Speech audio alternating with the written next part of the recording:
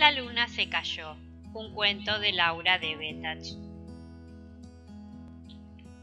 Un día el granjero de la granja verde puso un melón sobre el techo para que madurase al sol. Allí estaba el melón madurando y era tan redondo que parecía una luna, una luna color melón, brillando en medio de la mañana. El viento del verano iba y venía sobre la casa, sobre el techo y sobre el melón. Din don campanón, se amacaba el viento. Din don campanón, se amacaba el melón con el viento. Y era como si la luna se amacase en el techo. Por el lado más verde del campito, galopando y caracoleando, llegó el burro de la granja y frenó el trote cuando vio al melón amacándose sobre el techo. Miró, lo miró y dijo muy preocupado, La luna se descolgó del cielo. Esta noche la granja se quedará sin luna. Din don campanón se amacaba muy tranquilo el melón.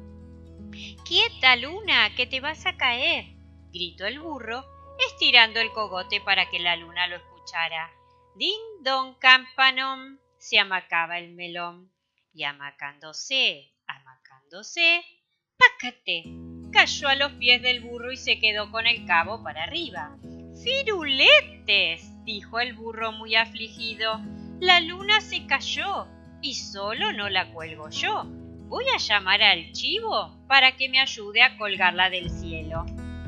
El chivo vino sacudiendo su cabezota con cuernos y moviendo la cola como un molinete.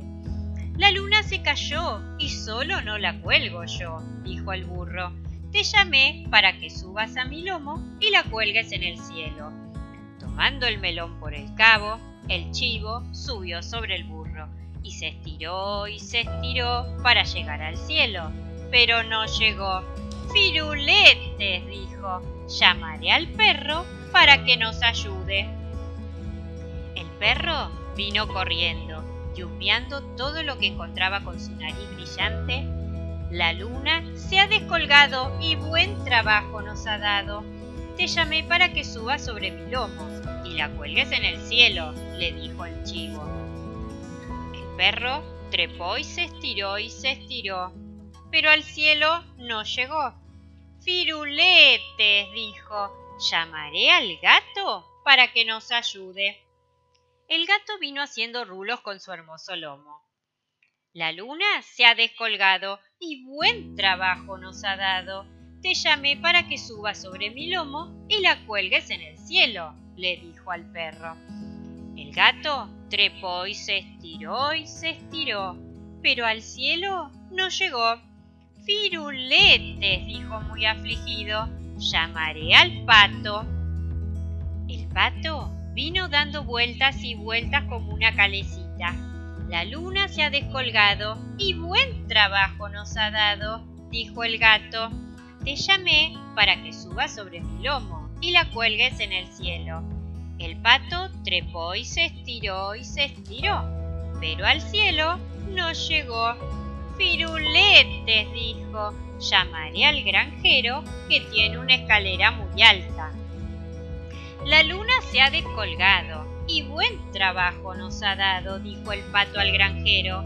Queremos que la cuelgues en el cielo con tu escalera. El granjero apoyó la escalera y trepó y trepó hasta llegar al pato que sostenía el melón por el cabito allá arriba, y lo miró y se puso a reír como loco.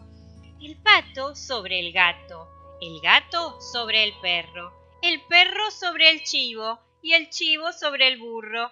Todos miraron de nuevo y se echaron a reír diciendo Es un melón, es un melón. El granjero puso de nuevo el melón sobre el techo para que siguiera madurando. Y mientras todos se reían, se reían, el melón se amacaba sobre el techo.